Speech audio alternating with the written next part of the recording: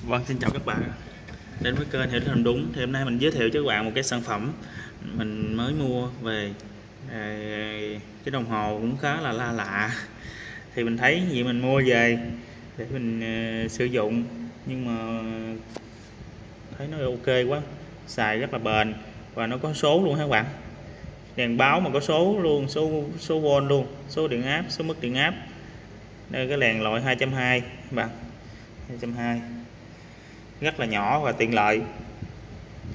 220V đây là khi mà mình cắm vào nè cắm nguồn vào cho nó thì nó hiển thị số 215V thì khi mà mình đo cái đồng hồ mình thực tế thì đó bạn thấy đó rất là chính xác ha.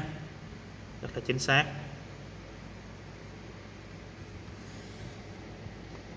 Thì mình sẽ dùng sắp tới mình sẽ dùng cái cái cái, cái đèn báo này để mình lắp tủ luôn. Lắp tủ công nghiệp cho giao cho khách đây. Mình thấy lạ mình mua về, nhưng mà mình thấy cái sản phẩm mình rất là hài lòng. Đây là số điện thoại của mình.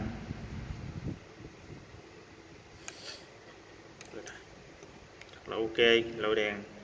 Lô đèn báo rất là ok.